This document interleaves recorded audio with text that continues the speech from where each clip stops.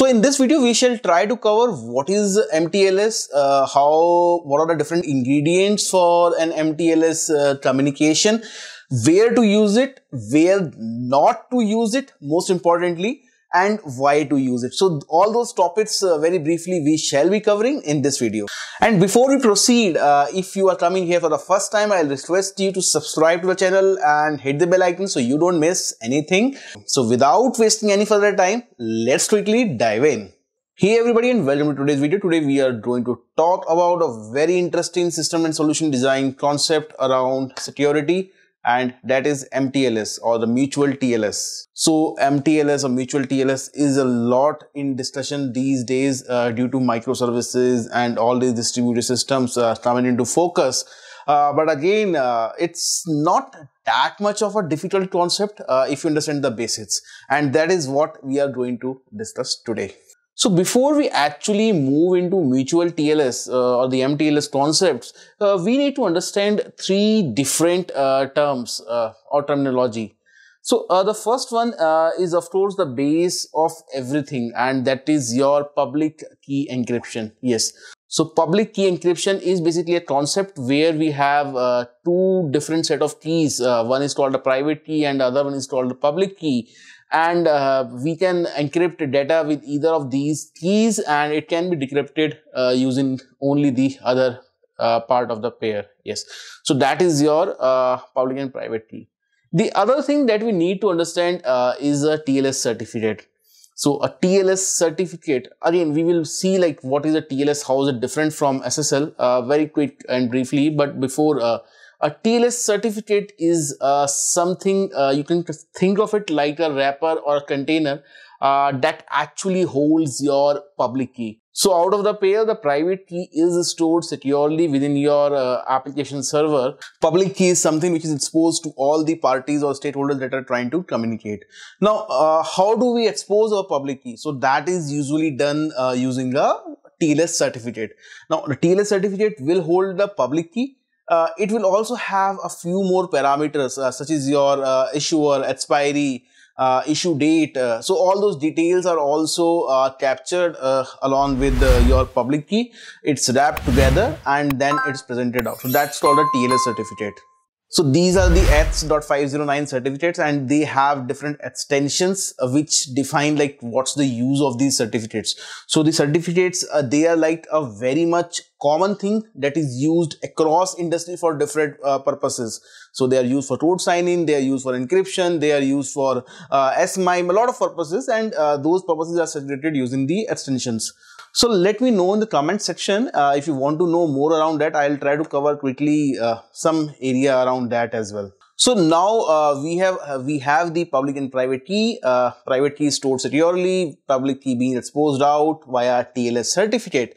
Now the third component or the ingredient uh, for this concept to work is your TLS handshake. And TLS handshake is something like uh, where the, these keys are validated, authenticated, and out of these uh, symmetric keys generated, which is used for your uh, TLS session for the encrypted session uh, for data to progress. So this TLS handshake is uh, in itself a very interesting topic and basically like the one of the very ingredients is like how the key exchange works from a server to client or like uh, in MTLS client to server as well. And there are different approaches uh, for that that includes your RSA exchange or your Diffie-Hellman. So there are different ways. Uh, let me know again in the comment section if you want to understand how the TLS handshake works out, how this key exchange takes place over an, uh, an unencrypted uh, mode. So I'll try to uh, put uh, put up with those as well. Alright, coming back to the MTLS, let's understand one more thing uh, before we actually move further. How is it different uh, with your SSL? So uh, whenever you visit an HTTPS site, uh, you must be seeing there's a lock icon over there uh, for your uh, SSL or secure sockets layer. Now TLS are like the successor of this uh, SSL. I'm not sure if the uh, original SSL are being used anywhere. In most of the time, different variants of TLS are being used. I think TLS 1.3 is the latest one that has all the goods and advantages of the protocol. SSL, I'm not sure if it is used anywhere. Anyways, these terms are used interchangeably between the SSL and the TLS. So in the current landscape, uh, both the SSL and the TLS, they refer to the same thing uh, called a TLS uh, certificate. Alright, so as I mentioned, I will not be moving into a detail of TLS handshake, uh, but just let's quickly understand what a TLS handshake is. Uh, in a TLS handshake, uh, the client uh, tries to communicate with the server. The server presents its certificate and uh, the then the client validates and authenticates against that certificate whether the server that is sending this certificate is authorized to use the certificate. Now, there are certification authorities that actually issue these certificates to trusted parties uh, based on the different validations on uh, DNS or a host name. So, all these things happen and uh, uh, like once this process is completed and a certificate is authenticated, a session is generated. So in a normal TLS authentication, uh, basically there is only one party that has the server certificate uh, that presents it out. Uh, but uh, what happen in a MTLS or a mutual TLS is like both the parties. now again, I'm not saying a client or a server here, but both the parties are equal and they have they have their own certificates uh, TLS certificates.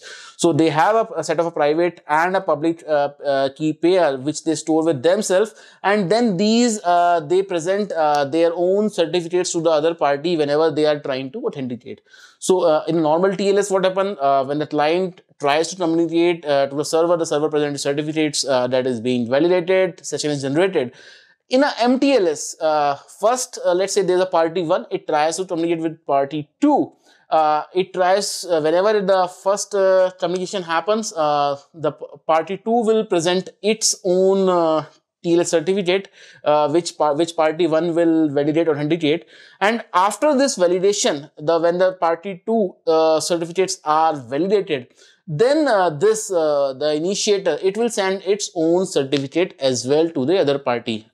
Now again, this party will also like tries to validate, authenticate uh, these certificates. And once that part is done, so there are different uh, protocols for key exchanges and generation of symmetric key, uh, which we can cover uh, in a detail if you want. Uh, let me know in the comment section. So, but the idea being like once these symmetric keys, both the party validate each other's certificates, that part is done. Then we uh, initiate the communication. Now, how is it different uh, with your uh, normal TLS?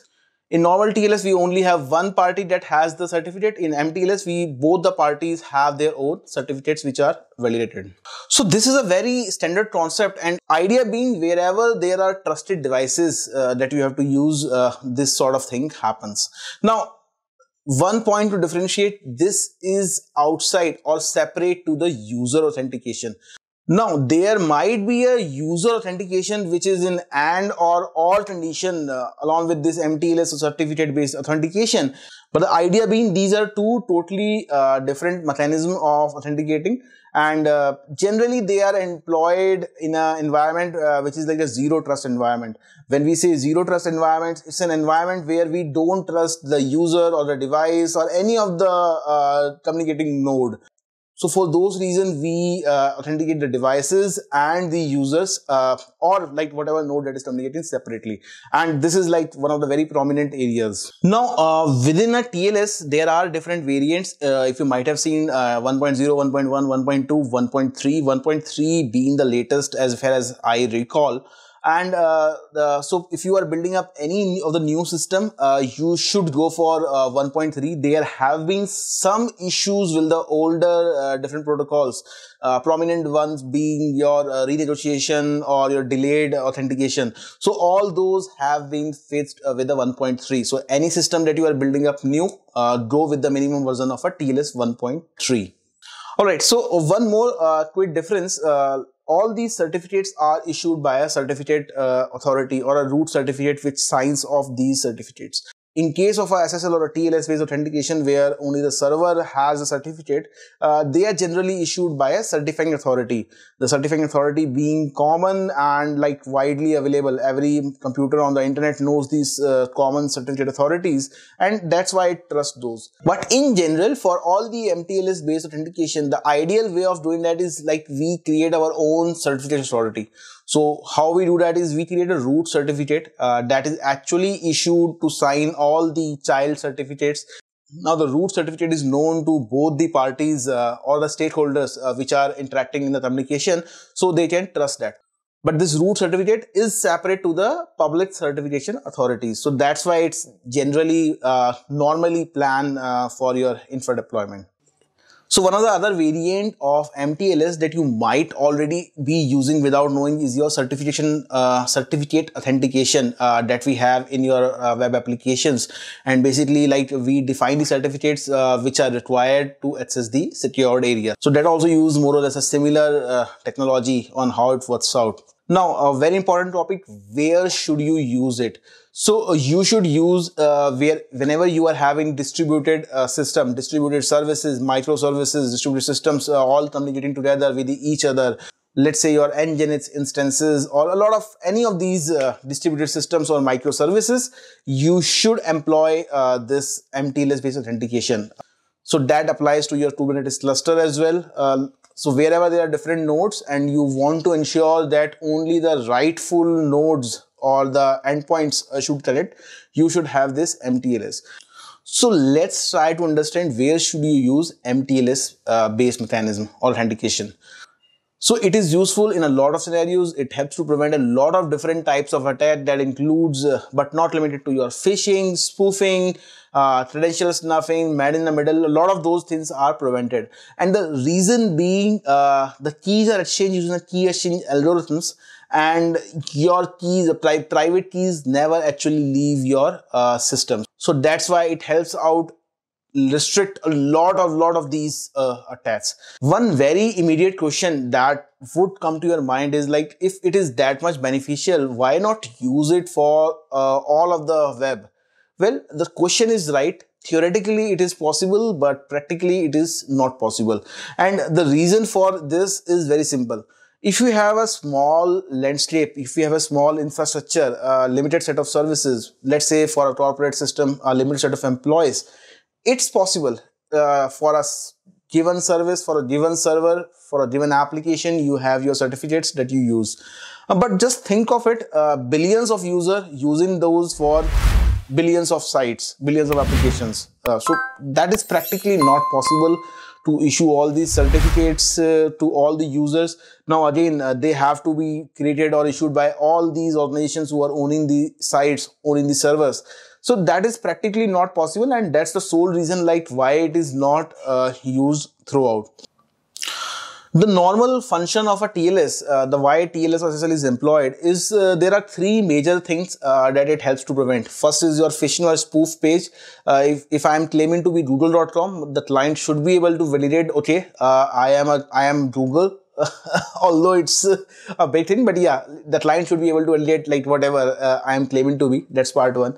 The second part is like uh, the data transmission. It should be encrypted. Nobody should be able to listen to like what data is being uh, sent out. That's part two Third part over here is like uh, data should not be modified if uh, whatever I'm requesting. So all uh, this in general uh, the client should be able to do and that is achievable uh, by your normal TLS uh, mechanism. for a few systems where you want to achieve a more higher level of security, for all those cases we employ your MTLS authentication.